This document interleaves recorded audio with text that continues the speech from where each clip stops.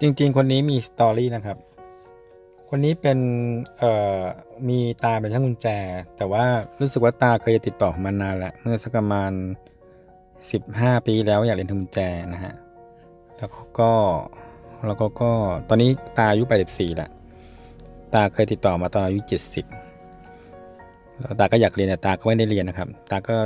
ทำกุญแจก็ก็แก๊กๆไปเรื่อยนะที่ที่ถนนอะไรจำไม่ได้ละ แล้ววันดีคืนดีหลานคนเนี้ยก็อยากเรียนทำกุญแจก็มาปรึกษาตาว่าเอออยากเรียนทำกุญแจนะเรียนกับอาจารย์กมเดชนะ อะไรประมาณเนี้ยแต่ตาว่าเออไปเรียนเลยเพราะว่าตาก็อยากจะเรียนเหมือนกันแต่ตาไม่ได้ไปเรียนเพราะตาอายุมากแล้ว84ละหลานเขาก็เลยงงว่าเอ๊ะทำไมตารู้จักอาจารย์กมเดชได้ไง เพราะอายุมากละ84นี่คือมาก ๆเลยนะ อายุมากมากเลยครับก็สุดท้ายก็ หลานก็เลยมาเรียนตามที่ตาบอกให้มาเรียน แล้วก็ได้ ได้ซื้อเครื่องมือ Titan Signature กลับไปกลับไปให้ตาเป็นเป็นของที่ระลึกนะครับ ก็เราจะเจอเหตุการณ์อย่างนี้ฮะทุก ๆ วันนะครับ ในแต่ละวันแต่ละวัน ลูกศิษย์แต่ละแต่ละคนเนี่ยจะมี story บางคนก็ภาคภูมิใจบางคนก็มีดราม่ามีเรื่องเศร้าอะไรก็แล้วแต่นะครับ แต่ทุกคนก็ไม่เคยโทษ ไม่เคยโทษคนอื่นเลยฮะโทษแต่เหมือนกับฉันอายุมากนะ ฉัน ฉันเด็กฉันอะไรก็ว่าไปทุกคนจะมีเรื่องราวนะครับ อันนี้ก็เป็นหนึ่งกำลังใจนะครับ ดีๆสำหรับสำหรับการเริ่มต้นนะฮะ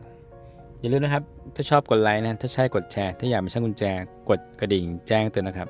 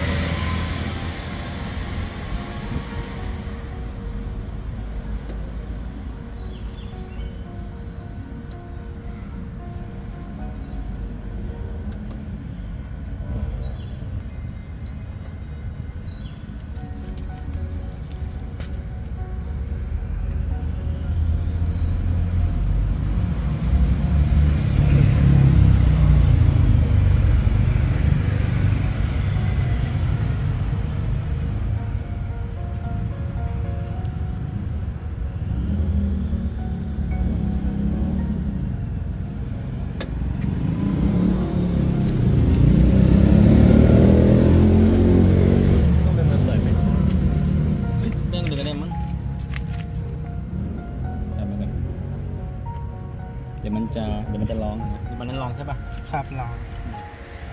เป็นไงเปิดยากไหม ก็เอ่อต้องฝึกตอนที่จะเรียนทำกุญแจอยู่ดีๆก็ไปคุยกับตาแล้วตาเขารู้จักผมเนี่ยรู้จักอาจารย์เบสอะเราเราตกใจไหมว่าเอ้ยตารู้จักได้ไงวะก็ก็ตกใจครับ เพราะว่าตาค่อนข้างแบบมีอายุแล้วครับ แต่ว่าก็คิดว่าเขาก็ได้ดูพวก YouTube อะไรอย่างเงี้ยครับ ความรู้ของเขาอะ แล้วตาเขาเคยบอกไหมว่าเขาติดต่อผมมาจะเรียนเมื่อกี่ปีแล้วอ่า นานแล้วครับโอ้แต่ตาผมเริ่มจำแค่คร่าวๆว่าอายุมากจริงว่ะใช่ครับ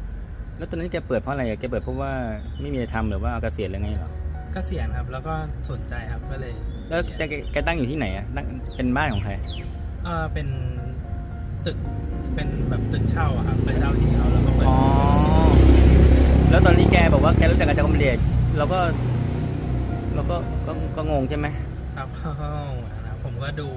ตามพวก YouTube อะไรพวกนี้มาแล้วพอเราบอกเราจะไปเรียนกับผมแกแกว่าไงมั้งแกแบบก็เขาก็สนับสนุนครับเพราะว่าอยากให้ผมมาทำกุญแจด้วยครับนี่เราจบวิศวะนะครับจบวิศวะวิศวะทำให้เรียนเร็วขึ้นไหมเกี่ยวไหมก็มันก็มีพวก ผมว่าก็มีส่วนนิดนึงนะครับเพราะว่าวิศวะที่ผมเรียนก็จะมีพวกเครื่องมือวัดพวกอะไรพวกเนี้ยครับมันก็โอจะเคค่อนข้างอ่าคนวิศวะจะหัวดีแล้ว นิดนึงวิศวะหมออะไรพวกนี้นะหัวดีหัวดีนะเมื่อก่อนไปสอนคนเป็นหมอ เรียนวันเดียวเปิดเบนซ์ BM ได้เฉยเลยงงมากเลยเนาะโอ้อัจฉริยะไม่รู้กินอะไรเข้ามาไม่รู้กินอะไรกินปลาร้าหรือว่ากินข้าวหรือว่ากินกินปกติกินอะไรอะปกติครับเออกินอะไรปกติครับข้าวตลอดทำไมกินแล้วหัวดีอย่างไรคนเรามันแข่งบุญแข่งเรือแข่งพายแข่งได้นะครับแข่งบุญแข่งวาสนาแข่งกันไม่ได้อ้าวขอบคุณมากเดี๋ยวจะไปคันต่อไปนะคันฟ้าๆนะเห็นไหมเออคันฟ้าๆไป